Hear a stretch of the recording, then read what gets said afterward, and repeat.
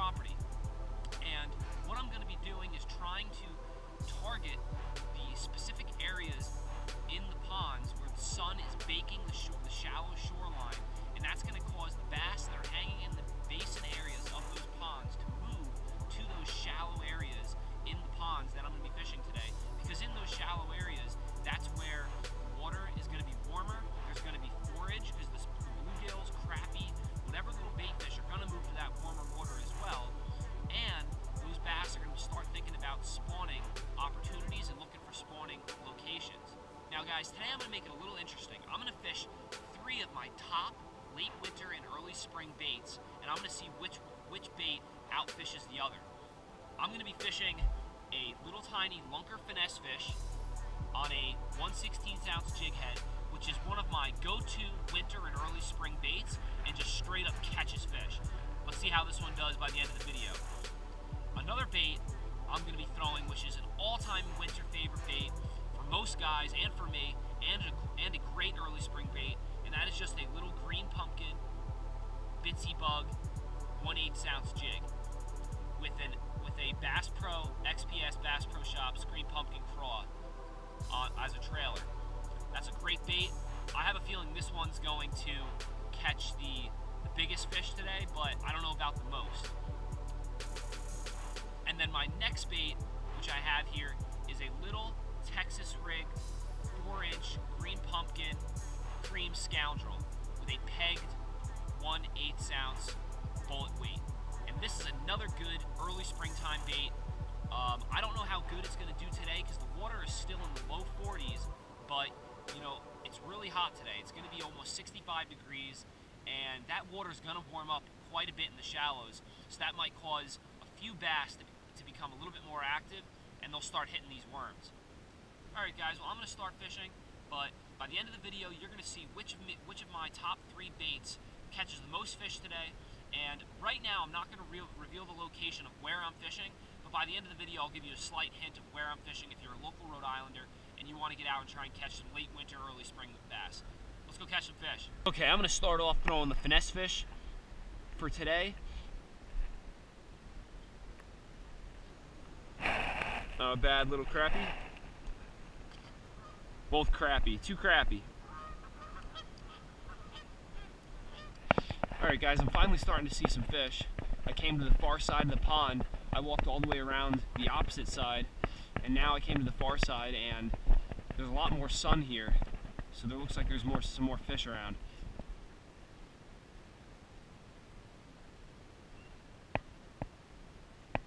Oh, there he is. First bass of the day on the finesse fish. So one on the board for the finesse fish. Real lunker though, right? oh, there he is.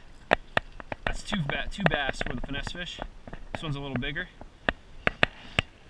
I haven't really took a cast of the jig or the worm, but I have a feeling they'll catch one. Oh, I got a lot of fish right here in front of me here. I'm going to throw out the jig. I've got a lot of wood wood cover here. There could be a big bass sitting around here.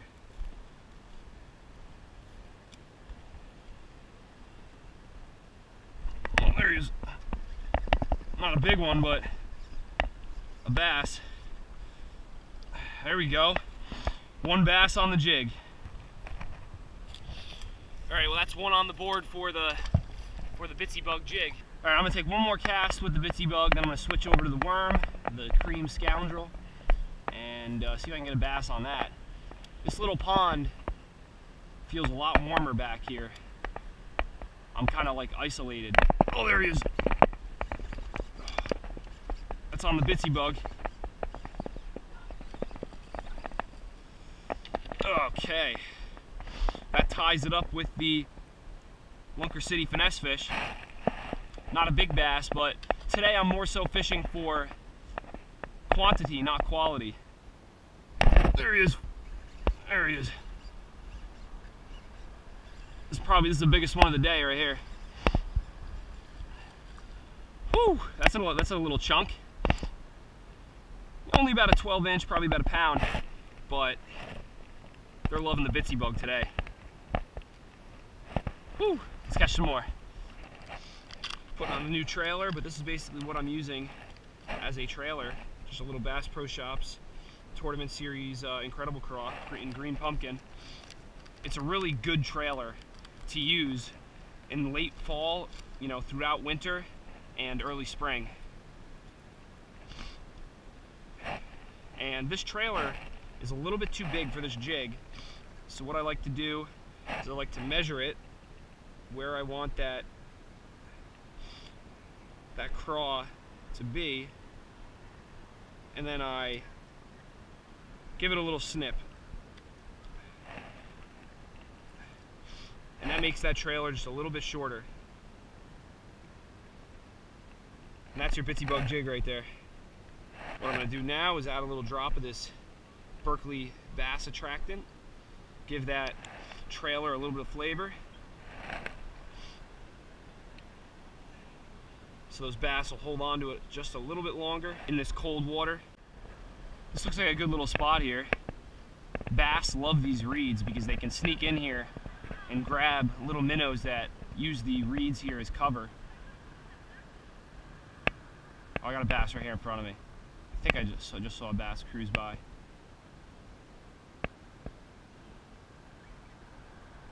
Not interested in the, the worm though. This is usually a really good early springtime bait, but it just might be a little too early. Oh, there was a bluegill that grabbed it. This will be my last cast with the little Creme Scoundrel, unless I get a bite on this cast. But then I'm to switch back to the jig because that seems to be producing the best, uh, the best fish out of this little pond and then I might switch to the finesse fish and uh, fish off that dock or something. That dock looks pretty good. There's probably gonna be some fish around that. If I throw this little bitsy bug out here in the same spot where I just fished the Creme Scoundrel and I get a, and I get a fish, then I know that they are really keying in on small crayfish.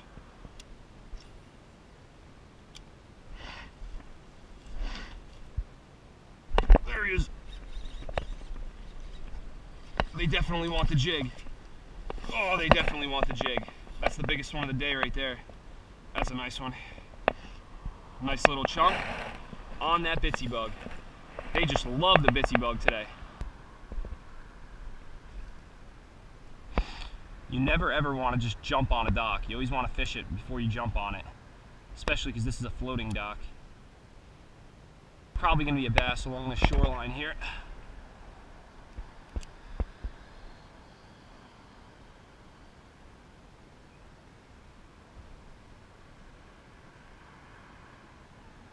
There he is.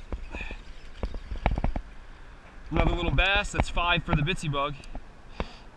It's amazing this little guy can get this little jig in his mouth. Nice healthy little bass.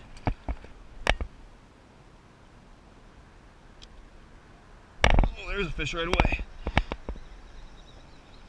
Bass ate it. That's number six. Little guy.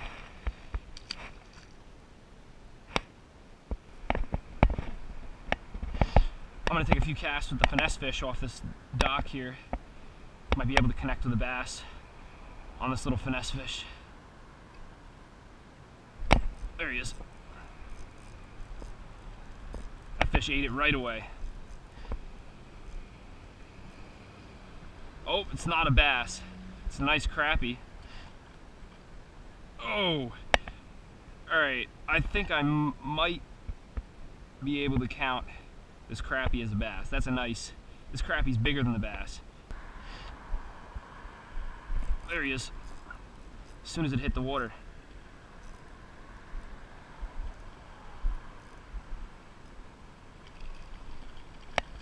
There we go. Nice little bass. Really nice light colors to them. Really cool. I, lo I love that. Whoa. Dropping them on the dock. Come back here. Come back here. Put them back in the water nice and easy. Oof. That fish picked it up right away, just like the crappie.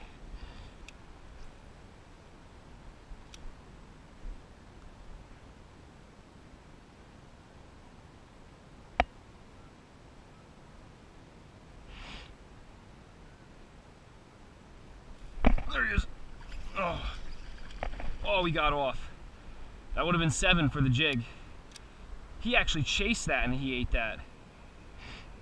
Wow, that bass is pretty aggressive. There he is.